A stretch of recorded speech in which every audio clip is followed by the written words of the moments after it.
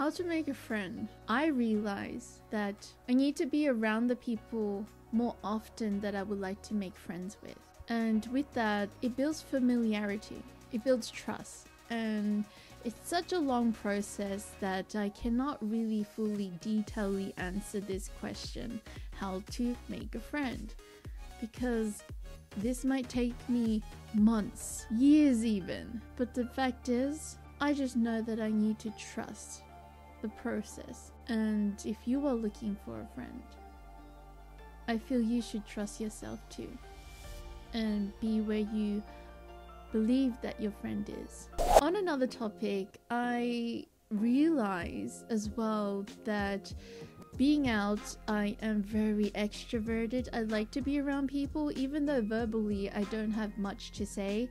I do like to listen and to watch people.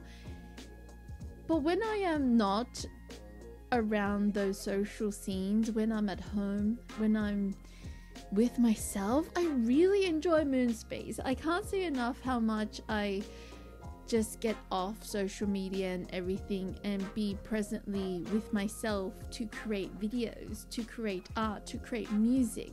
This is something that I feel so passionately about, and I realize that all the adventures I go on and all the people that I experience gives me this inspiration and motivation to create masterpieces. So, this is something that I really miss because, you know, the whole pandemic, I felt very like. Mm. But now that I'm free and I'm able to go out and do things, all this inspiration is coming.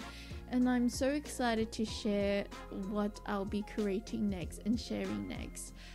Um, but a hint for you is we're moving into love.